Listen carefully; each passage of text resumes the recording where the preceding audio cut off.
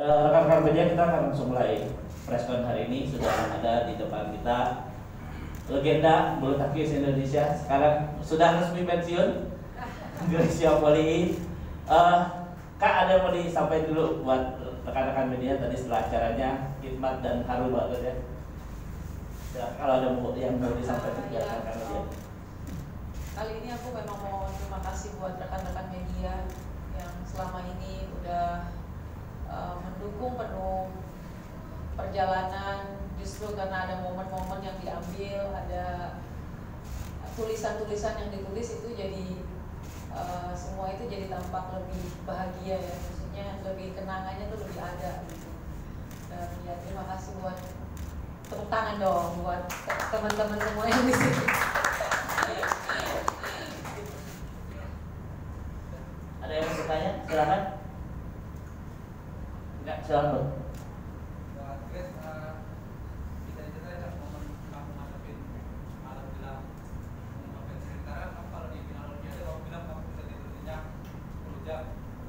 nggak bisa tidur seriusan jam tiga eh, jam tiga apa jam empat gitu saya nggak bisa tidur aja pokoknya bangun jam setengah jam enam dua jam tiga jam bingungnya tuh uh, te, uh, apa nggak tahu ya mix feeling. Kalau di olimpiade saya bingung juga be, um, uh, bisa tidur lebih nyenyak gitu.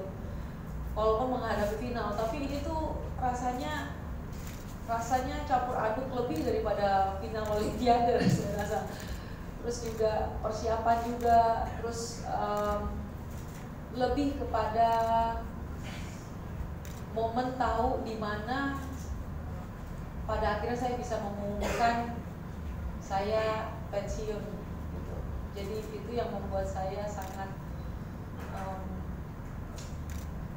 mixed feeling banyak pikiran jadinya. Aduh gimana ya? Gitu gitu sih. Oke ada lagi? Ya silakan mbak Uh, Grace tadi kalau dengerin kata Pak Menpora katanya mungkin Gre- Grace Poli setelah pensiun sebagai atlet mungkin tidak akan jauh lari larinya daripada dunia bulu tangkis mungkin apa rencananya ke depan setelah ini? Eh, ya um, seperti yang memang saya jelaskan sebelumnya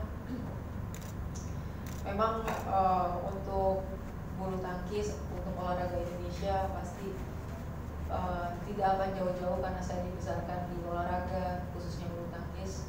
Tapi karena hidup kan penuh dengan musim ya. Maksudnya sekarang juga saya sudah menikah otomatis ada kepentingan keluarga juga yang harus saya jalani. Juga saya udah lama nggak pulang ke rumah maksudnya untuk tinggal bareng keluarga. Jadi itu hal-hal itu yang membuat saya oh hal-hal itu yang saya kangenin dari dulu jadi puji Tuhan mau masih uh, diberikan kesehatan. Jadi hal itu yang pulang ini saya mau uh, priorita- prioritasin keluarga dulu. Selanjutnya ke depannya kita bicarakan lagi nanti pasti akan ada sih pesan-pesan. Ya ada lagi?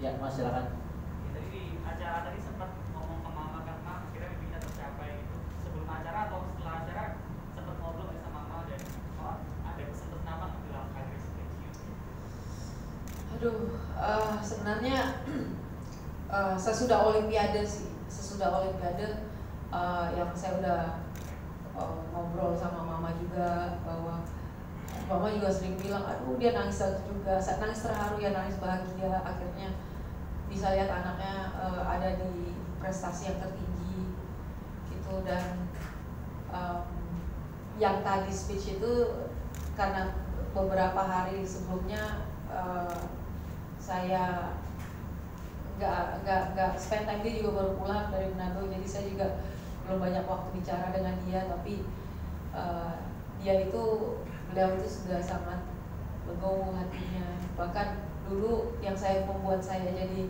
lebih terharu lagi waktu saya juga punya kayaknya bilang saya kayak pengen pensiun gitu. Dan sebelumnya ya tahun 2016 2017 dia bilang nggak apa-apa udah cukup kamu. Jadi apa pun yang saya raih itu sudah cukup buat dia. Apalagi tapi nggak taunya ditambah sama Tuhan yang lebih besar lagi gitu sebelum menyatakan pensiun. Jadi nggak ada kata lain selain bersyukur. Itu aja sih kayak bonus gede banget buat saya dan keluarga saya kali Ya, bandingkan silakan. Halo Kak Grace, selamat siang untuk Joshua. Ya. Eh, Kak mau tanya Kak, Kakak kan juga sekarang kalau tidak salah dari komisi atlet dari BWM ya Kak. Nah job desk ini seperti apa ke depan dan apakah sekarang kan lagi fokus dengan keluarga. Tersirat nggak sih Kak untuk jadi pelatih itu yang pertama. Nah yang kedua nih Kak, tadi kan juga ada meet and greet dan itu kalau tidak salah atas himbauan Kak Grace sendiri. Apa sih Kak arti penggemar bagi Kakak? Terima kasih. Iya, nah makanya komisi atlet ini adalah bagian salah satu bentuk dari kepedulian saya terhadap bulu tangkis, lebih khususnya bulu tangkis dunia. Karena um, sehabis Olimpiade memang atau sebelum Olimpiade um, banyak dari uh, BWF dari vice presidennya bilang bahwa Chris kamu uh, boleh ya kayaknya kamu good good role model untuk bisa ngisi tempat ini. Uh, mau ya untuk kami uh, apa namanya ke daftarkan namanya kayak seperti itu. Dan saya mikir apakah job desknya apa karena kan saya sudah menikah dan sebentar lagi mungkin saya akan fokus keluarga. Tapi setelah ngobrol dengan suami ya dia akhirnya oke nggak apa-apa boleh. Karena kalau itu bisa em, seimbang dan tidak memakan waktu. Maksudnya kan keluarga keluarga saya keluarga itu akan saya jalani dengan sepenuh hati. Jadi akhirnya saya terima dan memang em, dari dulu mereka bilang kekosongan di BWF itu adalah atlet. Setiap orang yang jadi presiden atlet itu chair of atlet eh, bukan dari pemain-pemain top pemain-pemain level dunia gitu. Pasti karena pemain-pemain dari level dunia atau top itu mereka kita nggak ada banyak waktu untuk bisa ngurusin eh, apa ngurusin banyak hal. Ngurusin atlet belum lagi misalnya ada masukan apa masukan nah itu kan itu harus benar-benar atlet yang pun apa ya yang yang bisa punya waktu. Bukan hanya dia punya waktu latihan dan bertanding tapi juga punya waktu untuk bisa uh, mengu- urus hal-hal yang organisasi ini. Ya mungkin mbak dan masnya semua tahu di sini bahwa ribet. Tapi karena dijalani dengan uh, ya senang hati jadi saya merasa nggak apa-apa dan ini sebagai bentuk uh, melayani pelayanan buat saya kepada bulu tangkis dunia. Dan dibilang jadi pelatih hmm, pelatih itu saya luar biasa sih sama pelatih pelatih terlepas dari mana pun ya pelatih Indonesia atau pelatih luar. Pelatih itu uh, orang yang betul-betul mendedikasikan itu bukan buat keluarganya aja tapi buat kita nih atlet-atlet. Atlet ini di di pelatnas misalnya satu sektor ada 12 orang. Itu yang harus diperhatikan itu semua 12 orang itu belum lagi anaknya di rumah. Jadi teks itu bakal banyak banget pengorbanan waktu. Jadi mungkin saya bukan saya tidak mau ya ditawarkan ada tetapi bukan saya tidak mau tapi untuk saat ini memang musimnya belum sampai saat ini belum untuk jadi pelatih. Karena uh, jadi pelatih dan atlet tuh sama sama super duper sibuk dedikasi ya pokoknya full konsentrasi di 100% di bulu tangkis. Gitu sih. Jadi mungkin ke depannya atau saya bisa mendedikasikan diri saya kepada hal-hal yang lain tapi masih sifatnya olahraga. Arti penggemar kan? oh ya arti penggemar.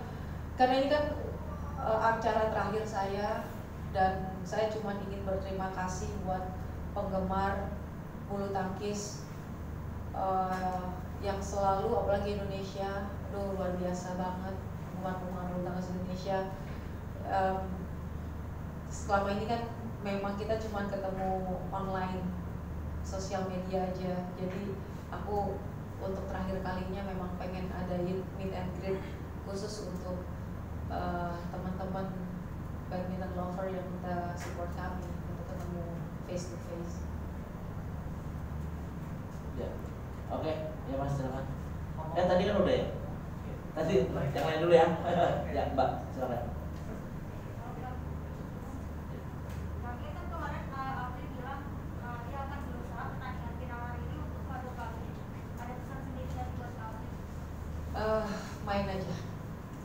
apa pun Kak. yang penting dia bisa berproses dengan Fadia dan saya punya kerinduan bukan hanya Fadia Apri yang tapi kalau bisa Fadia Apri harus ada timnya di Olimpiade nanti. Itu kerinduan saya dan pelatih pelatih uh, di pelatnas. Gitu. Jadi selama maksudnya ya itu aja berproses aja Ya, silakan Mas. Grace, kira-kira ada nggak sih hal-hal sederhana yang bakal dikangenin dari setelah nanti keluar pelatnas gitu baik itu ketika latihan atau ketika di asrama kira-kira apa sih yang bakal Grace kangenin? kangen kalau badannya sakit-sakit itu nggak akan terjadi lagi di ke depan hari sakit-sakit tuh bukan berarti kalau kita mungkin yang nggak olahraga kan pusing sakit kayaknya ah, badan biasa bisa tapi kalau ini tuh kanker tuh badannya remuk hancur jarum ah, tahu jarum gak ya? Kayak pegel-pegel gimana ya? Bukan pegel-pegel pegel-pegel tuh gak enak gitu. Nah itu yang saya rasa saya bakal kangenin itu sih. Terus yang kedua adalah uh, hubungan dengan uh, di asrama. Saya berarti tinggal di asrama itu di Pelatnas 19 tahun. Berarti kalau di Jaraya bisa dari 11 tahun. Ya berarti kurang lebih 17 tahun uh, 15 tahun. Eh 19 20 oh iya. Wah. Di asrama ya makanya hal itu yang akan membuat saya kangen juga untuk kehidupan di asrama. Dan juga traveling terus uh, maksudnya pertandingan keluar teman-teman teman dari luar uh, bisa makan bareng hal-hal yang di luar lah. Hal-hal kecil yang yang bakal lebih saya kangenin Oke,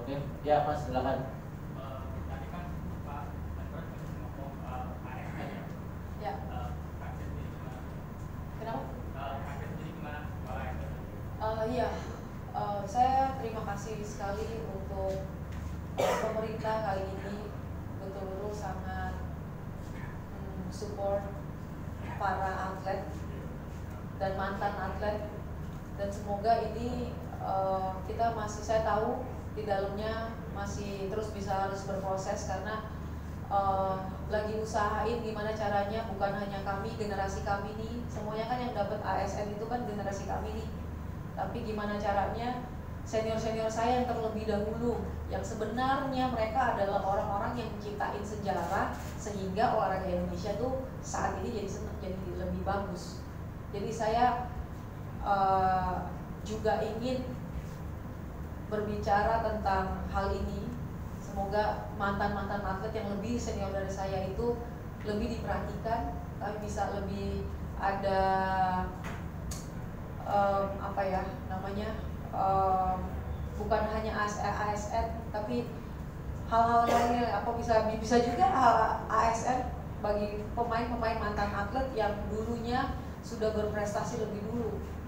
Gitu. Jadi saya um, berpesan saya bisa bilang berpesan kepada pemerintah dan saya justru terima kasih karena kami ini udah jadi uh, udah ditabung ayat jadi jadi aset saya jadi kami bersyukur juga untuk itu.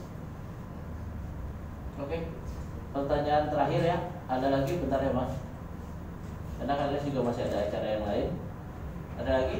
Ya Mbak, silakan Mbak.